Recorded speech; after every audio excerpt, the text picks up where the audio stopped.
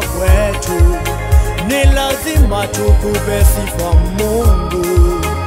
Umetenda mambo makuu ya ajabu Bwana, ni lazima tukuinue Yawe. Ni mangapi umeyatenda kwetu, ni lazima tukupe sifa Mungu. Umetenda mambo makubwa sana lazima tukupe sifa na utukufu. Utukufu ni wako Mungu. Jehova umetamalaki,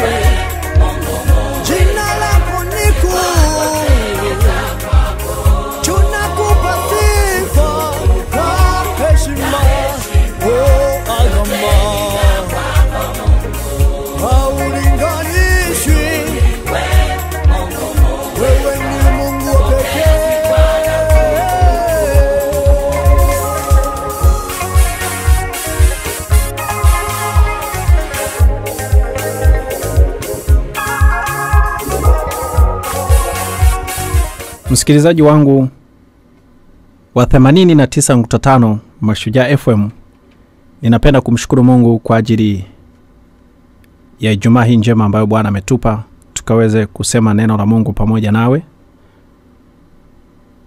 Ni huruma za Mungu kwamba hatuangamii, kwa kuwa rehema zake hazikomi. Kila siku ni mpya katika maisha yetu, tena uaminifu wake ni mkuu mno katika maisha yetu ya kila siku na hata Ijumaa hii ya leo tena tunapokaribia kabisa mwishoni mwa wiki hii, uaminifu wa Mungu ni mkuu mno kwako, mpendwa msikilizaji wangu, nami ninakuombea kwamba ukafanikiwe katika jina la Yesu Kristo wa Nazareth katika kila jambo jema unaloenda kulifanya Ijumaa hii ya leo.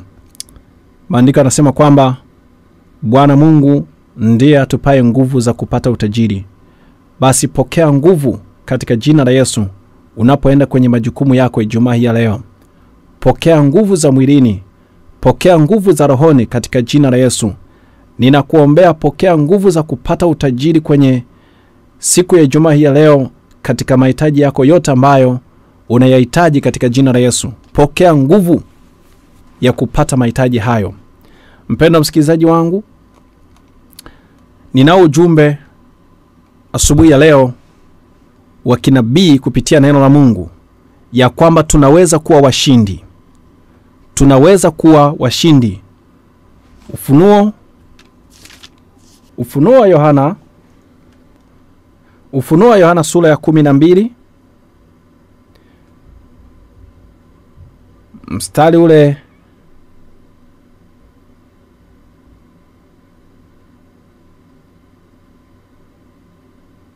wa kumi mpaka ule wa kumi na mbili nikasikia sauti kuu mbinguni ikisema, sasa kumekuwa wokovu na nguvu na ufalme wa Mungu wetu na mamlaka ya Kristo wake, kwa maana ametupwa chini mshtaki wa ndugu zetu, yeye awashtakie mbele za Mungu wetu mchana na usiku. Nao wakamshinda kwa damu ya mwana-kondoo na kwa neno la ushuhuda wao, ambao hawakupenda maisha yao hata kufa. Kwa hiyo shangilieni yenye mbingu nanyi mkao humo, ole wa nchi na bahari, kwa maana yule Ibilisi ameshuka kwenu mwenye ghadhabu nyingi, akijua ya kuwa ana, ana wakati mchache. Baba, katika jina la Yesu ninakushukuru kwa sababu ya asubuhi njema ambayo umenipa kukutana pamoja na msikilizaji wangu huyu katika kipindi hiki cha Amka na Yesu. Neema yako Baba yatosha, nami ninaliitia jina lako.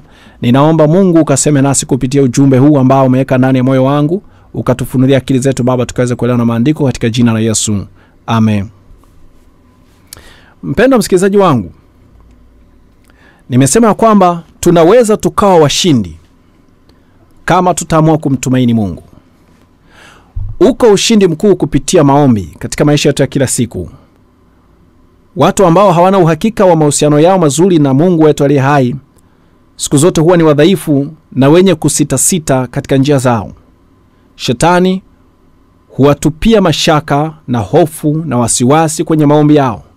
Lakini kwa wale ambao mahusiano yao ni mazuri pamoja na Roho Mtakatifu wamedha, na wamedhamiria kabisa kutembea kwenye mahusiano mazuri na Bwana wetu Yesu Kristo, ninapenda nikuhakikishie katika jina la Yesu kwamba tunaweza kushinda wakati wowote, tena kwa kishindo kikuu kupitia katika maombi. hebu elekeza kichwa chako kwenye silaha ya chapeo ya wokovu ambayo tulijifunza. Elekeza kichwa chako kutoa upanga wa roho kwa ujasiri mkubwa. Kwenye miguu yako hebu ufungiwe viwato vya utayari wa kuihubiri injili ya amani. Kwa hiyo tunasimama imara pamoja na kukutana na mashambulizi mbalimbali ya adui. Tutaitumia tutautumia ule upanga wa roho na maandiko yanasema kwamba mpingeni shetani naye atawakimbia. Nimejifunza katika maisha yangu ya kumtumikia mungu kwamba siku zote tunao ushindi nimejifunza kuona ushindi wa mungu kwenye maisha yangu ya kila siku kwenye huduma kwa kutumia silaha hizi mbalimbali ambazo tumekuwa tukijifunza. Wakati mwingine unaweza kupambana na adui kwa muda mrefu kweli lakini mwisho bwana atakupa kushinda. Biblia inasema nao wakamshinda kwa damu ya mwana kondoo lakini sehemu nyingine biblia inasema kwamba tunashinda zaidi ya kushinda kwake yeye kristo ambaye yuko pamoja nasi iko hivi mpenda msikilizaji wangu. Huwezi ukaitwa mshindi kama hujashindana. Hauwezi ukaitwa mshindi kama wewe hujashindana. Lazima ushindane ili uweze kuhesabika kwamba wewe ni mshindi. Usiposhindana hauwezi ukaitwa mshindi. Sasa utaitwaje sasa mshindi wakati hujashindana? Kwa hiyo hata nasi lazima tushindane. Huwa ninapenda kuwa encourage watu ambao wanapita kwenye majaribu wanaopita kwenye mashambulizi kwamba ni lazima wapite kwenye mashambulizi ili waweze kuinuliwa kutoka imani kwenda imani. Lakini pia ili waweze kuitwa kwamba wameshinda.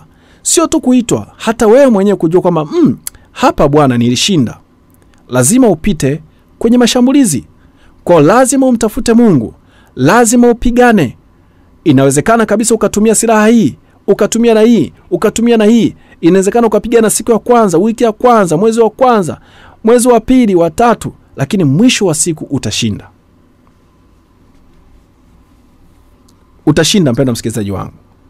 Maandiko anasema nasi tutamshinda kwa damu ya mwana kondoo yesu kristo yule adui.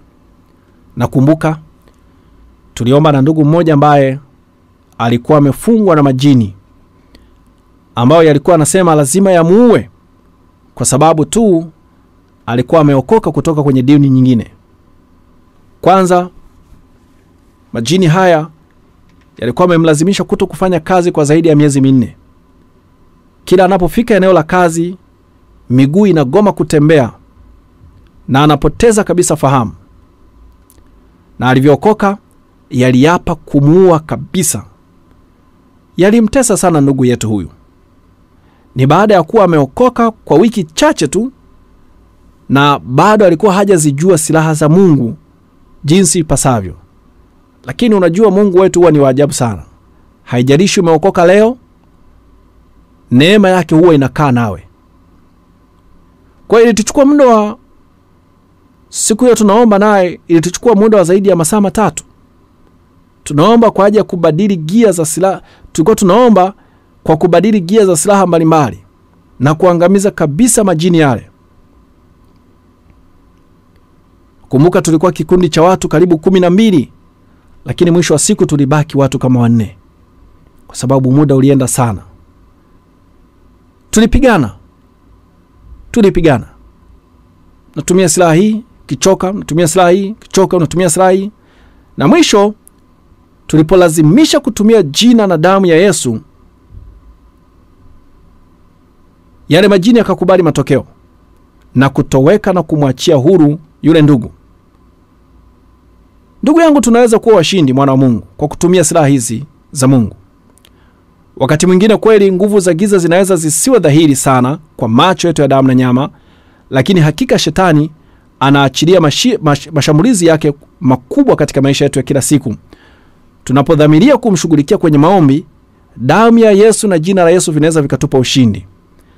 Yeye shetani anaweza akaachilia mashambulizi kwenye kila eneo la maisha yetu.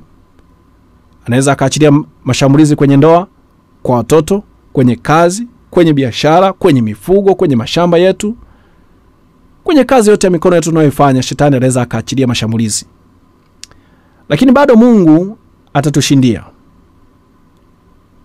pendo msikilizaji wangu imeandikwa kwamba lakini katika mambo hayo yote tunashinda na zaidi ya kushinda kwake yeye aliyetupenda.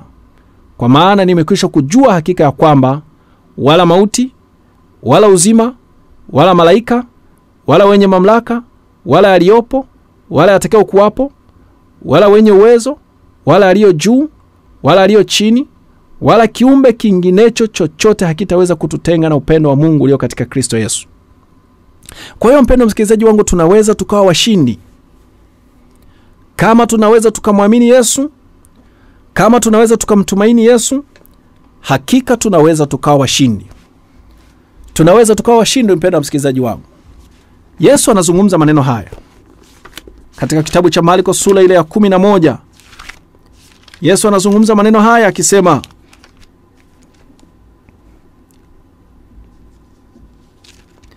marko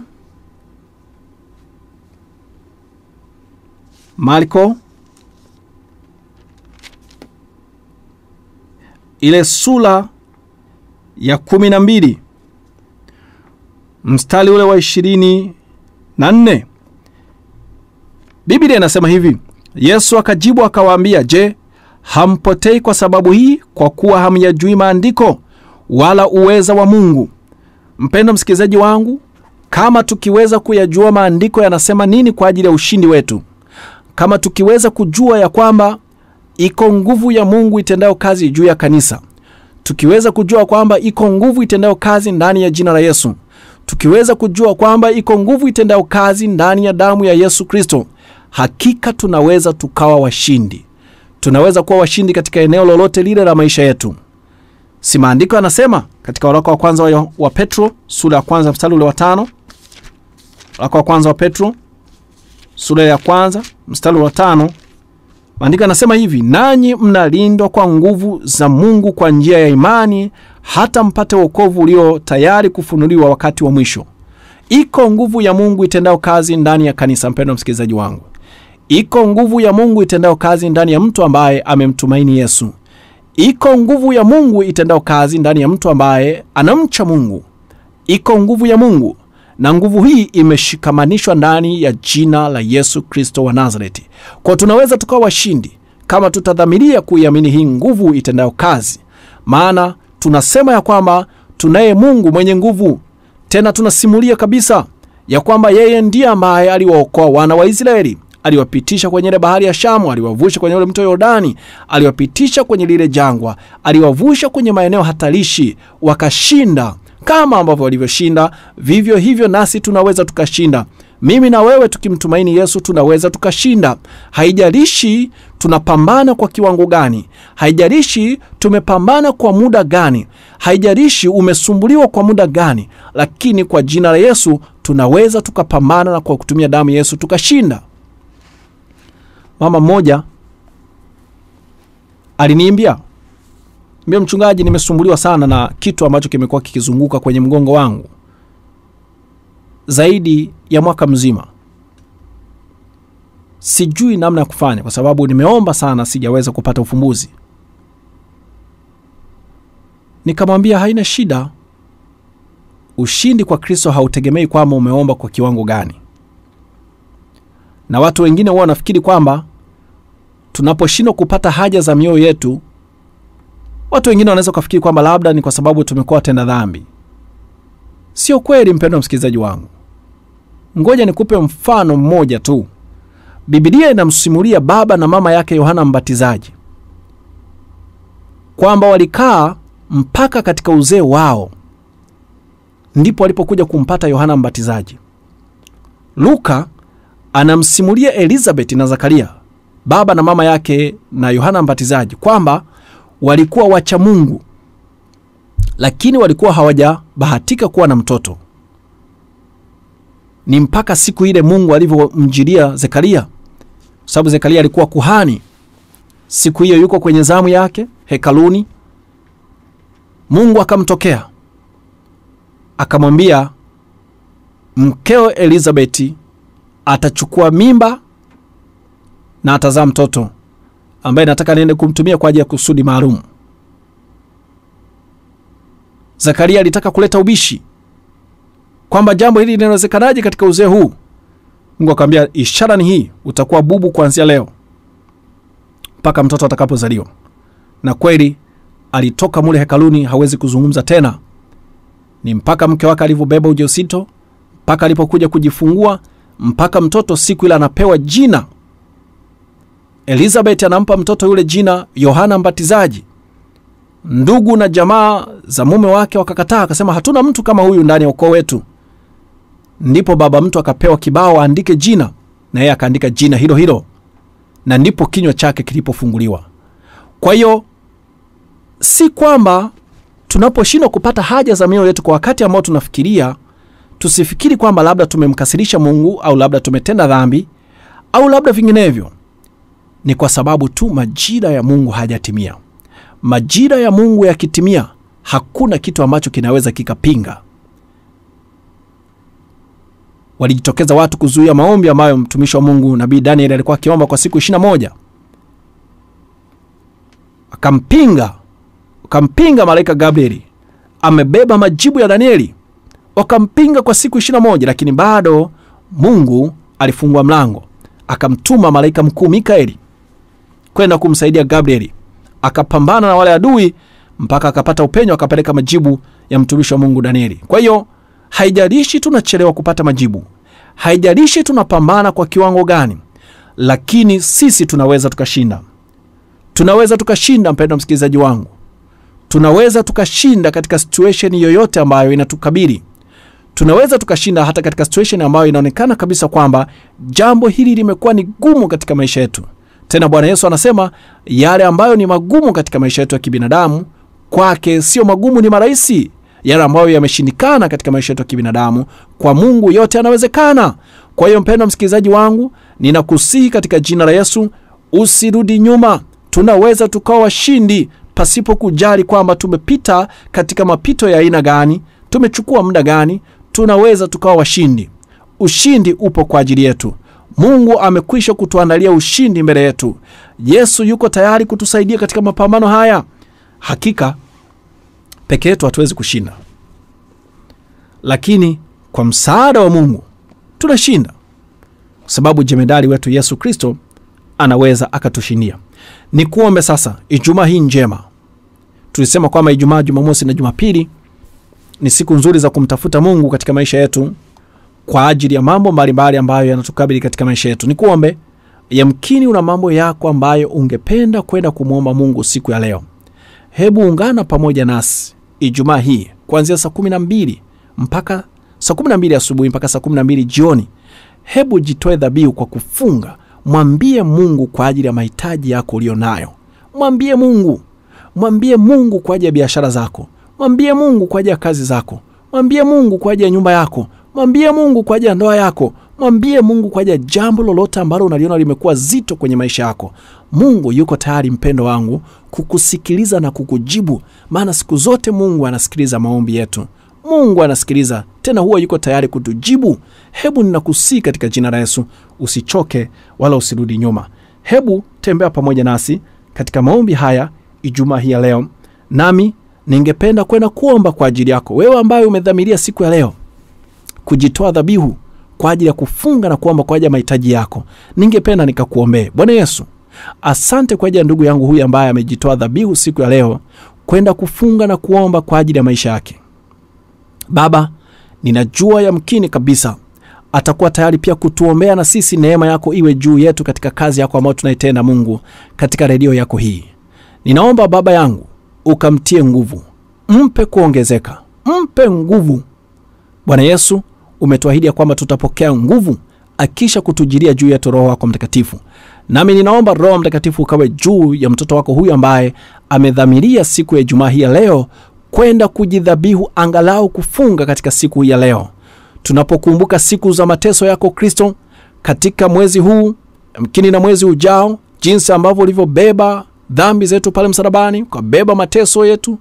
Baba ninaomba ukamtie nguvu mjoli wako huyu. Pia anapoenda kuungana pamoja nasi katika maombi haya wema wako na fadhili zako baba ninakuomba zikawe juu yake. Ukamlinde na kumtegemeza e bwana katika maombi haya kwa masaa haya kumi na mbili na utukufu wako mungu ukamwatamie katika jina la yesu kristo wa nazareti ali hai. Amen. Mpenda msikilizaji wangu mimi ninapenda kukutakia baraka za mungu ijumaa hii ya leo bwana akubarikie na kukulinda. Bwana akuangazie nuru za uso wake na kukufadhili. Bwana akuinulie uso wake na kukupa amani katika jina la yesu. Mimi ni mtumwa wa kristo shagiri wa shagiru kama utakuwa na jambo lolote unatamani kusema nami. Namba zangu ni 0786 96 9273 0786 96 9273 kama unataka kumpokea yesu wasiliana nami kama unataka tukuombee kwa ajili ya uponyaji wa jambo lolote wasiliana nami. Tutaenda kuomba nawe na neema ya mungu iliyoko juu yetu itakuhudumia nao utaenda kupokea. Mungu wangu aliye hai akubariki